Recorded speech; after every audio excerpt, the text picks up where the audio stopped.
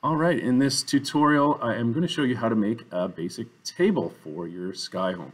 So I've started a new design. It's right now it's untitled. It is a good idea to save it early uh, so you know what you're kind of doing. I'll just call it table. And it's put it in your folder, save. Okay, start a sketch. Uh, as always, this is pretty much the first button I always have to press.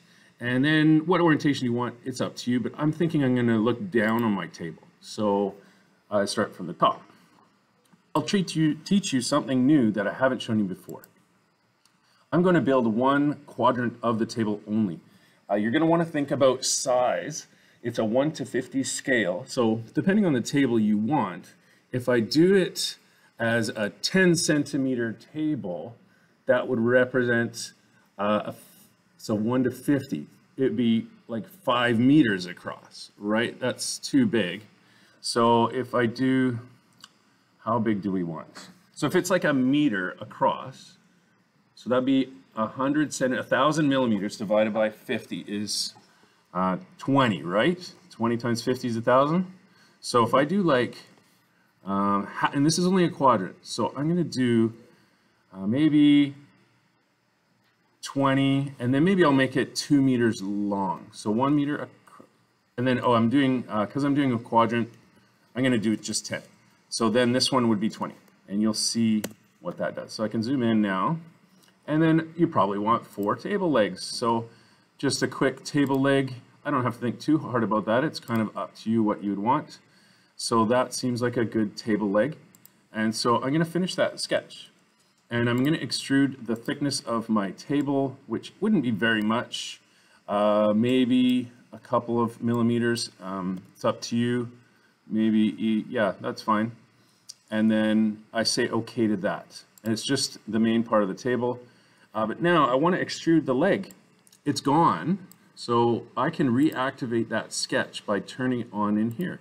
And now you see that blue circle is right through there. It's accessible. I can extrude it, grab that little circle, extrude it. And again, the height of your table, you're going to want to think about it somewhat, but maybe guess uh, that's too long, so 50 is too much, maybe 30. Um, oops, I think I accidentally hit enter. So I can always go back into things. Don't feel stress about making it the wrong size ever because you can always fix it later. It's one of my favorite things about Fusion. That still feels too tall. So the other way to do it is just by grabbing it uh, with the blue arrow and decreasing it. So let's try something like that. So now I want to pattern this. Rectangular pattern is your friend. Select that, it is on bodies. The axis, uh, first axis, I'll open up my origin, is going to be, um, looking at my diagram here, like the, the X goes this way, so X should be good. Yeah, that's the blue one. And then it automatically picks the other one, that's fine. Uh, I could do, I could even do a mirror. Oh, that'd be fun. I'll show you both. So I want, um, I think mirror is even better, even better. I'm changing my mind on the fly here. Create, mirror. And I want to look at it on the side a little bit.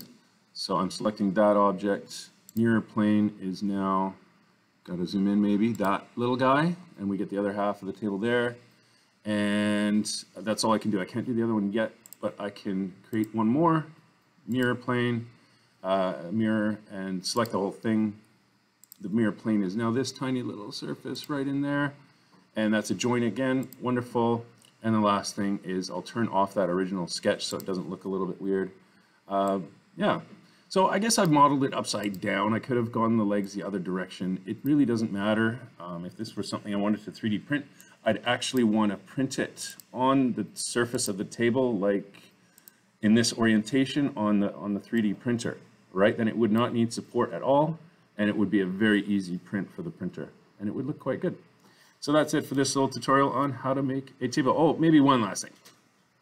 Fillets, your friend. Sharp edges hurt babies. Don't hurt babies. So if you give it a little fillet, I could have done this on the original one, which would have saved me having to do it all four times, but you know, it's not that bad. I think I have to hold control and then I can grab that and that fillet set. So I could go around and do all four, or what I would probably do is go back into the timeline and do it properly. So it's the corner nearest to the leg. I'll fillet that one right there. Uh, give it, say, four. That looks pretty nice. Maybe a little less, maybe three. Okay, whatever you want. And I say, okay. And then watch this as I move. I'll back out first. As I move the timeline back to the end, boom, fillets already done all four times. It's more efficient to do it that way. Go back to the original that you made if you have any patterning and make changes. Okay, so that's it.